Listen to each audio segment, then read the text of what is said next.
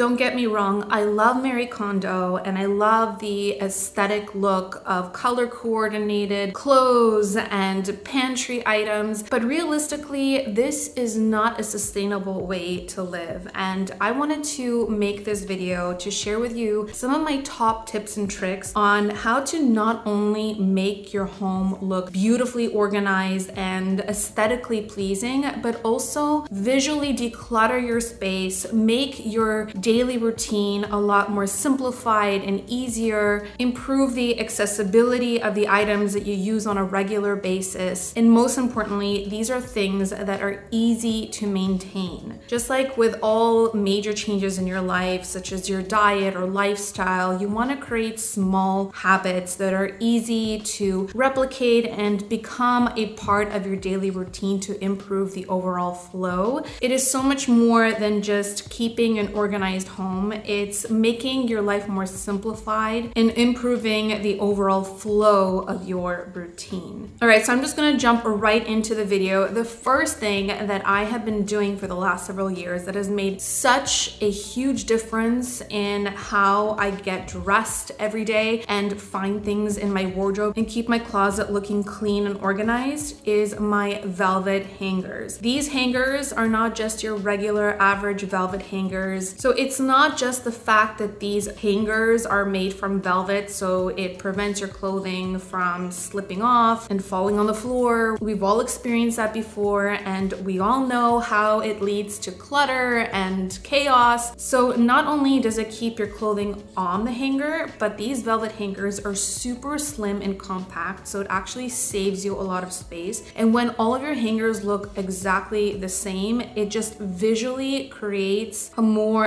aesthetically pleasing wardrobe. So I swear by my velvet hangers. I get mine on Amazon. I also use miniature versions of these velvet hangers in my kids' rooms to keep their clothes all organized and clean. So my first tip is to get rid of all of your clunky, bulky, mismatched hangers, replace them with these beautiful, clean looking velvet hangers, and it's gonna make such a huge difference in your closet and you'll thank me later. If you guys were interested, I will link the ones that I personally purchased in the description box down below, as well as the ones that I get for my kids' closets. So as most of you probably know if you've been following me for a long time, fashion is kind of my thing. It's kind of my passion. And keeping my closet looking beautiful is one of the things that just makes me happy. I used to think that organizing my wardrobe by color was the way to go to keep things looking their best. And although I find that aesthetically, it probably looks better to keep your clothing color coordinated, but it's not the most practical and sustainable when it comes to keeping it that way and also finding what you're looking for. So when it comes to clothes, I find that organizing your clothing by type, such as keeping all of your long sleeve shirts together or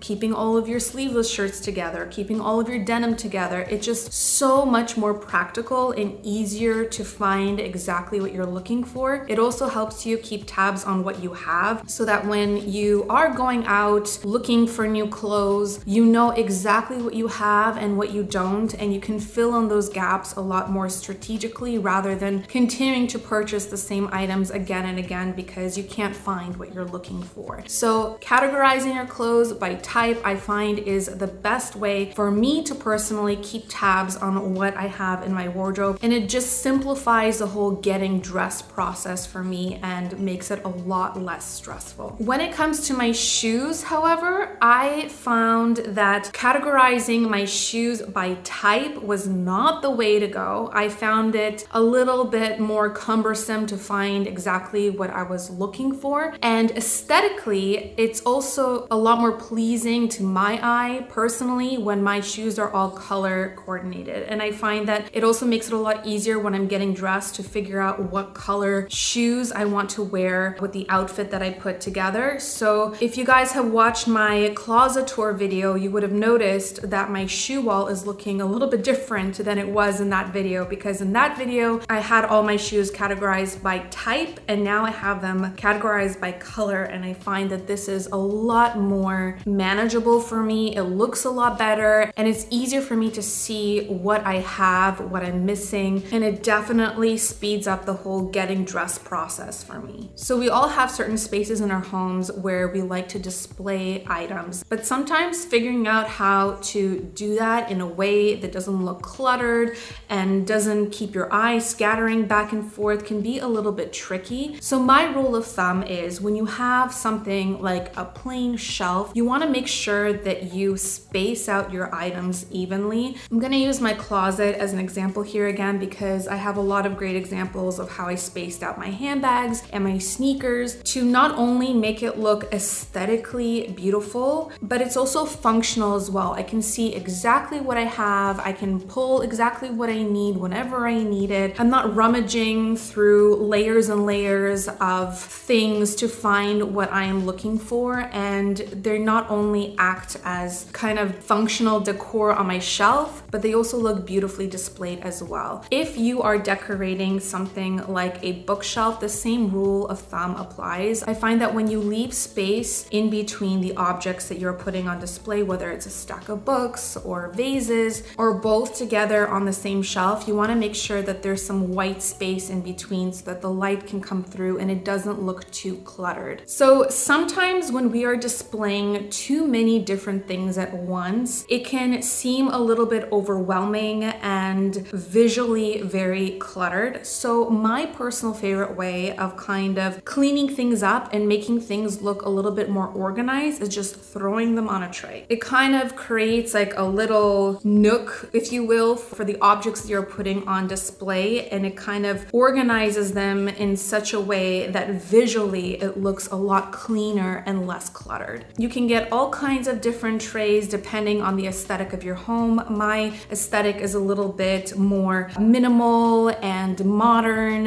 and mixed with transitional. So I personally really love marble trays. I have a lot of marble throughout my home. So it kind of goes hand in hand. I even use marble trays to organize things such as my toiletries. I have a beautiful black marble tray sitting in my shower that helps organize my toiletries in that way. In my closet, I also have this beautiful round tray that organizes all of my candles and incense. And I have a lot of candles and incense. So I find that grouping them and collecting them all in kind of one little area just makes the space look a lot neater and easier to look at. By the way, I know you guys are gonna ask about these candles because I literally have them all throughout my home. I'm obsessed with them. My husband is obsessed with them. They're by this brand called Lazy Royal. And if you guys have been watching me for a while, you know that I'm a huge, huge fan of Oil Perfumery and Okja, which are perfume brands that specialize in making luxury, high quality fragrances made from non-toxic ingredients with essential oils that are inspired by high-end luxury brands such as Maison Francis Kurkdjian and Le Labo, Tom Ford, Dolce & Gabbana. So they recently launched a brand of home fragrances in the form of diffusers and candles. They even have car fresheners. And for those of you who don't know, one of my all-time favorite scents is Baccarat Rouge 540. I have been wearing this fragrance for a very, very long time. I own the real one and I also own the Okja and Oil Perfumery interpretations and I always, always, always go for the OP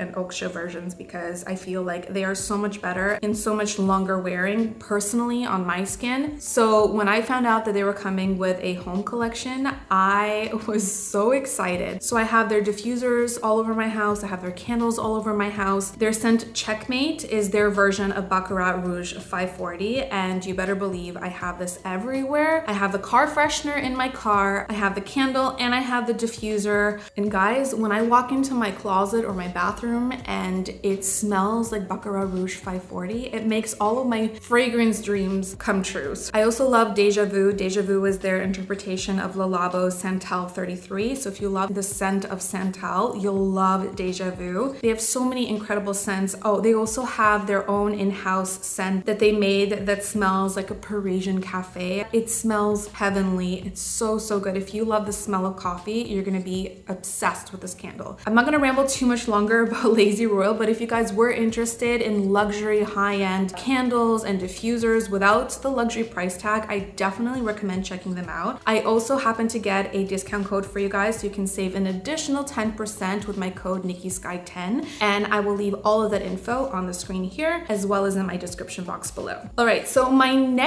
tip is when you are putting things on display, I realized that keeping groups of things to a maximum of two or three items is the way to go. It looks the most pleasing to the eye, it looks the most clean. When you have more than three items, it just becomes overwhelming and it clutters the space. So if you have a few skincare products on display and you just remove a couple of them, maybe the ones that you don't use the most frequently and tuck them away somewhere and just leave out the ones that you use the most, it's gonna make such a big difference in your space and decluttering everything and making it look a lot more neat. Another way to instantly make your home look a lot more decluttered and organized is just to keep with a neutral color palette in communal areas. Small pops of color here and there through accessories such as throws and pillows and books is okay, but I found that having super colorful furniture and a super colorful rug and super colorful decor everywhere, it creates clutter and chaos and your eye just doesn't know where to go. So when you keep majority of the space, like 90 to 95% of the space in a neutral color tone and just accentuate certain things with pops of color, it's gonna look a lot more clean and more organized. We all have drawers, we all have cupboards. Storage is an essential part of living, in my opinion, but a lot of the storage that we have in our homes is not being utilized to its optimal potential. There's so many little things throughout my home that I can mention that we have done to kind of maximize the space and make our overall living a lot more functional. So I wanted to mention a couple of things that may help you guys keep all of your things a lot more organized so you know where they are at all times and you can find exactly what you're looking for. So when it comes to small things such as makeup or jewelry or maybe baby clothes, my personal favorite way to organize those little things is in drawers and using compartments for it. So for my makeup, I have these big trays that have little compartments in them where I keep everything organized that I use on a regular basis and I can find exactly what I'm looking for super, super quick. For my baby's clothes, I have the same thing. I have all of my baby's onesies and knotted gowns and socks and everything compartmentalized so I can easily and quickly find what I'm looking for because trust me, there's nothing worse than a fussy baby and not being able to find exactly what you're looking for.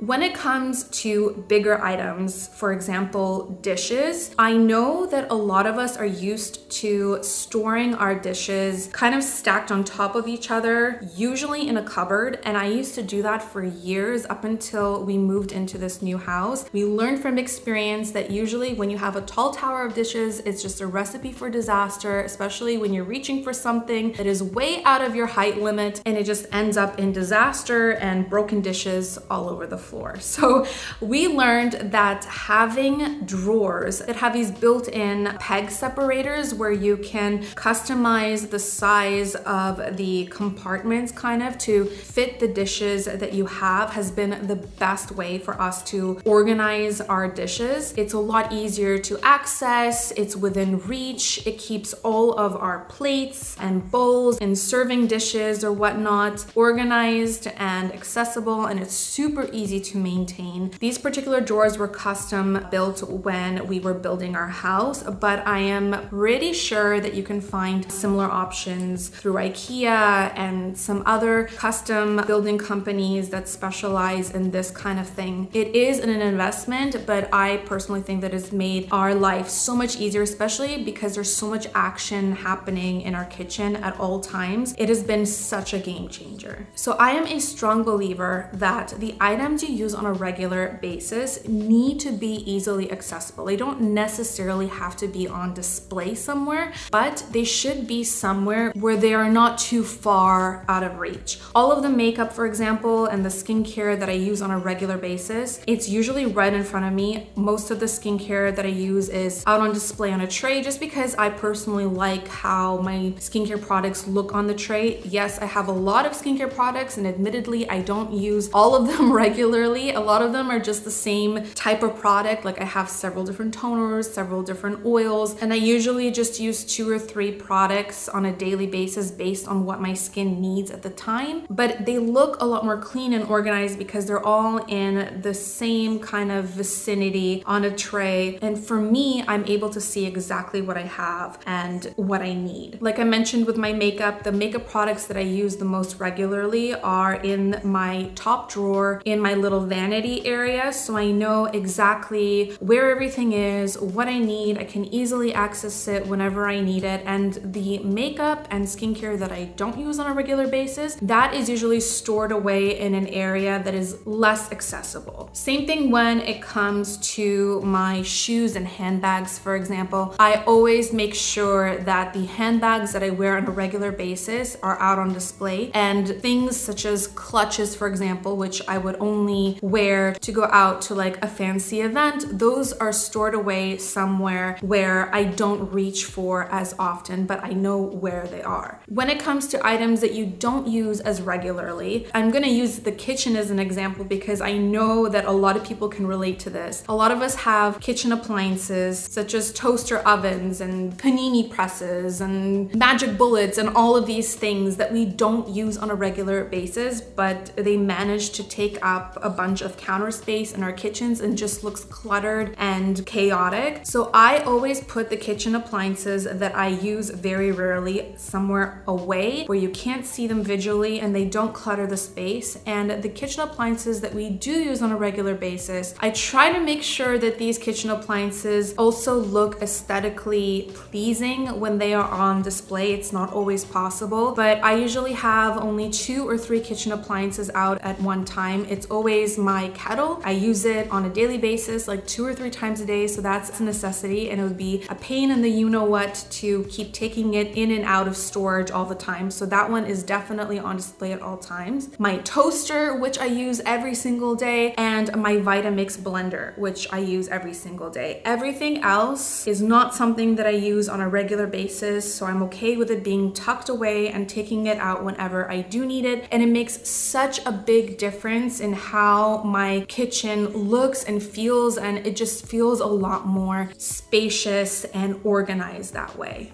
All right, you guys, so that wraps up this video. Those are my 10 tips on how to keep your home organized the right way or in a more functional way. I really hope that you enjoyed it. Give this video a thumbs up if you enjoy these home organization and decor videos. I have so much fun making them and sharing everything that I learn along the way. It's one of my newfound passions since we moved into our new home last October, and I'm really excited to share more content with you guys. I do you have another planned video with my husband coming soon, hopefully sooner than later, which I'm really excited to share with you guys because I know how much you enjoyed my last video with him when we did my dream closet tour video. He is a wealth of knowledge and he's just so fun to film with and I'm excited to have him back on my channel. If you guys aren't already following me on Instagram, it would mean so much to me if you would follow me over there and join my community on Instagram. I share a lot of other things about motherhood, fashion, lifestyle over there and I would just be so happy for you guys to be part of my community. As always, I wanna thank you so much for watching and hanging out with me and I'll see you in my next one.